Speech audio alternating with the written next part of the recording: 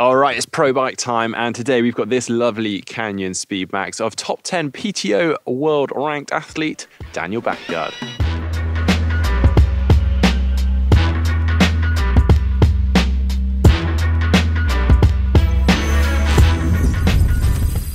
Well, obviously, this is a bike that I'm very familiar with and a big fan of.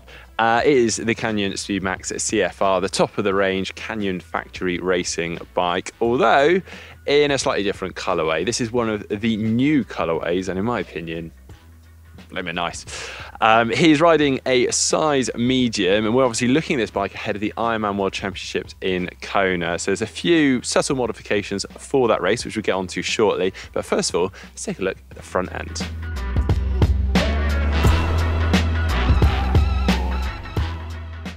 Yeah, there's a lot to chat about up here. Um, so starting with the base bar, that is perfectly standard.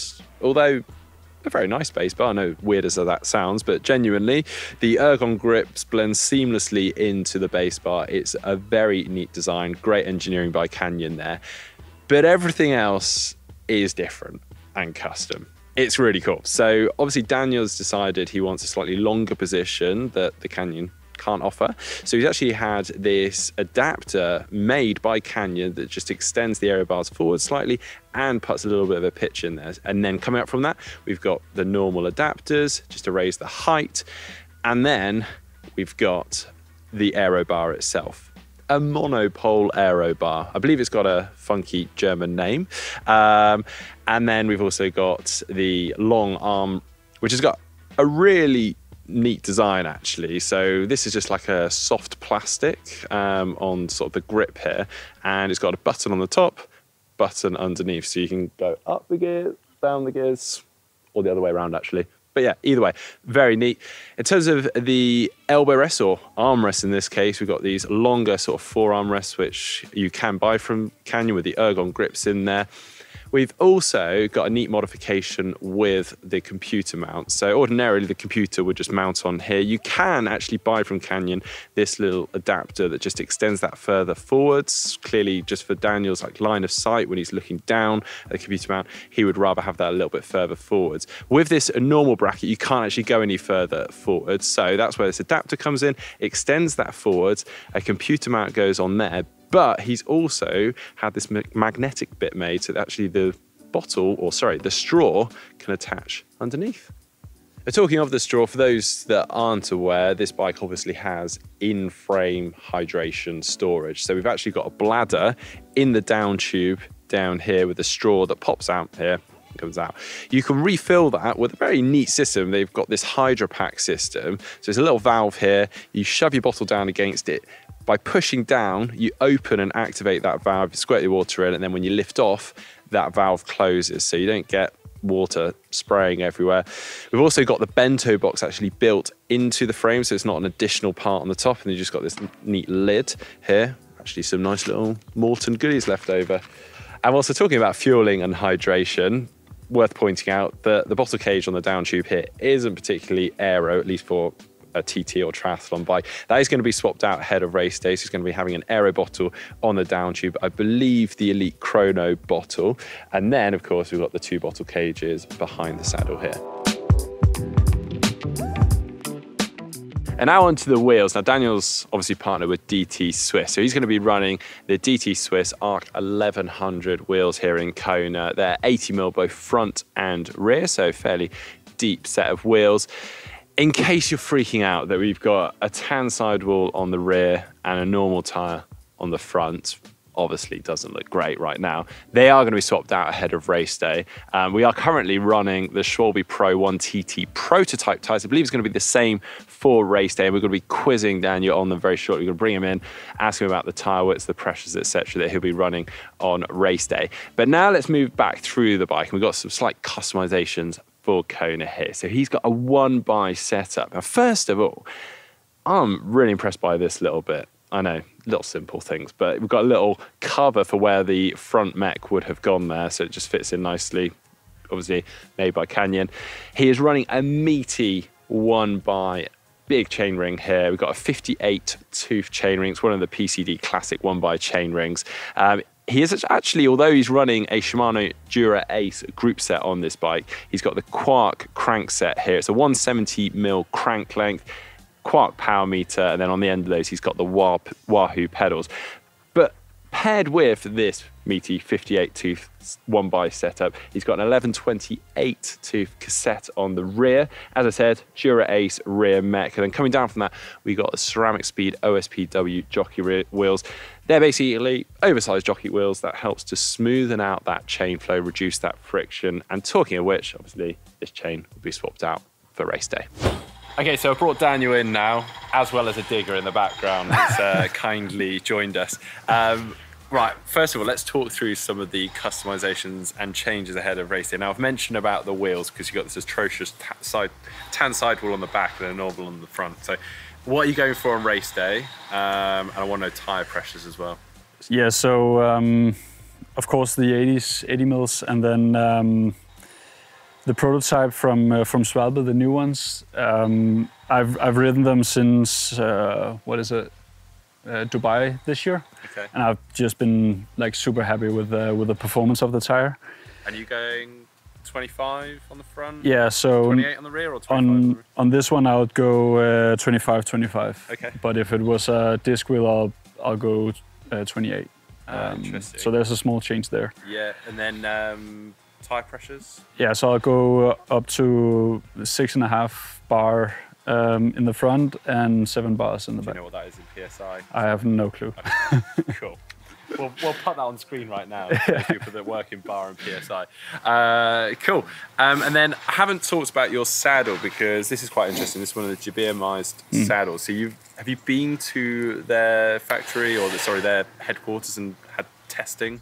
Yeah, so so basically, I had a lot of years where I could not really be comfortable on on the bike. Um, I tried a bunch of different types of saddles, um, and when I started working closely together with Canyon, we uh, I went to to Germany to Heises to do a lot of like bike fitting, uh, aero testing, and so on. And we found that saddle to be perfect. And for me, it's it's changed my whole game on the bike. Uh, not only like I, I'm comfortable now on the bike, but I can also produce more power. So I've I've actually been uh, I've been pretty happy about changing saddle, um, and also been pretty surprised on how how much of, of an impact it can actually do on your yeah. on your I've, performance. I've seen this particular saddle. It's the Stride by Jabirma. It's actually on quite a few pro bikes. So yeah, seems to be going down quite well. Yeah. And then obviously, as I mentioned, you, you'll be swapping up the chain probably doing the same thing a lot of pros do, dropping the bike off the ceramic speed ahead of the race, right? Yeah, Getting true. the ceramic speed chain on and oversized jockey wheels. Yeah, I'll uh, I'll opt for the new uh, the new covered ones, the covered versions from um, from ceramic speed. Um, yeah, it'd be rude not to, wouldn't it? Yeah, it would, and it just looks mean. So. Should we talk about your kit then? Yep. Uh, let's start with the tri suit.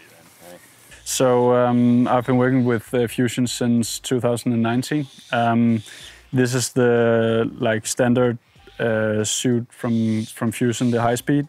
Um, this is not the suit I'll be wearing on race day. Uh, we've done some some smaller upgrades on the suit, but uh, all in, this is the suit I've been race, racing so far, um, and I re I've really enjoyed it. It's got these sort of like trip sort of lines across the back, hasn't it? yeah, quite, exactly. Quite and it, it just works very well with the drone, uh, with the Met drone helmet. Yeah. Um, that's what we've we've found that, you know, all in all, my whole kind of package of um, of equipment just works very well together. Nice. Um, and as you know, like if you do changes on on the suit, you might change the helmet and so forth. So it, it's about finding the whole kind of system working it's together. Not a lot of people talk about that with us, but it's uh, it's interesting you mention it. So, I mean, maybe people don't do it as, as much as you think they do, but it's it's interesting that you that is something you're really conscious of. It's like if I change something, it will have an impact on the rest of the equipment. Yeah, and you would be surprised how much of an impact actually. Yeah, yeah. Uh, like, actually so you got sort of this almost like papery kind of. Uh, um, uh, material at the bottom here. And I've got to ask about this. Yeah, yeah. Obviously, it, this is an old suit, so it's maybe it not is. in best in the best condition. But this is grip for sort of staying on the saddle. Yeah, especially when uh, when it just uh, you know come out of the swim, then yeah. it's it's nice to have grip in the first part of the bike portion where you push a lot of watts. Um, and I've just found actually it's it, it takes me back to when I w- did not ride that saddle. Uh, I just had problems with like staying like pro- proper seated in the saddle and still pushing watts. Yeah. So uh, that was kind of a do-it-yourself uh, version of. Uh, And what is Yeah. it? What if you? actually, it's just like normal uh, grip from if you have like socks with grip Okay. under it. It's just ca- that kind of uh, stuff I put on. So Good uh, work. Awesome. Yeah. Uh, well, let's carry on on the bike then. So we've got your Oakley shades here. yeah, Nice. And then, oh, sorry, obviously that'll be for the run because you got a visor on here. So you got your Red Bull. Uh, this is the Met drone yeah. helmet here um, with the Red Bull customization on it. Um, which, yeah, is, is, is this the wide body helmet? Yeah, it is the wide body, and I would I would say like everybody should ride a wide body if you have a decent position on on the on your bike. It's just a great helmet, and um, I've actually been surprised. You know, it's very hot and humid here, and there's still a fair bit of ventilation through the helmet, and you know. That's one thing I've been very surprised of because of of course it's like you can you can overcook uh, when you have the helmet on for four hours, but I, I found it pretty well um, in these conditions, and it just it feels comfortable riding. So uh, Brilliant. that's Okay. nice. Nice one. And then we've got the Bont Zero.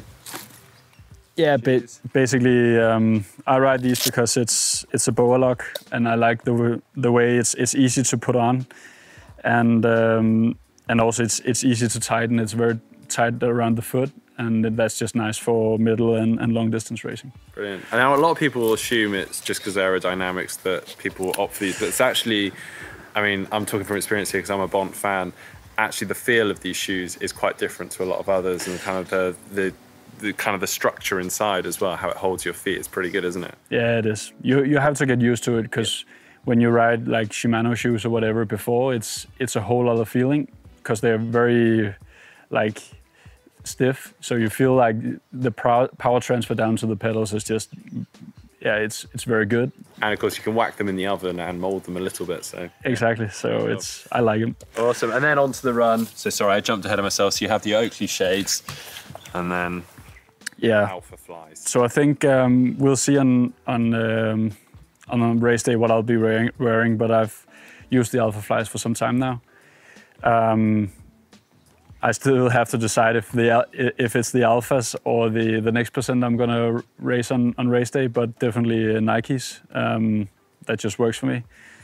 Uh, the headband, of course, um, and then also a pair of uh, nice Oakleys. Probably quite crucial though when you're running through the energy lab and drops of sweat are r- running down your forehead. So Yeah, true. nice one. Well, um, thanks ever so much for all of this, and best of luck for race day. We'll be Thanks a lot, rooting Mark. for you. Thanks ever so much for watching. I hope you've enjoyed it. If so, please do give it a thumbs up, give it a like, and don't forget to subscribe.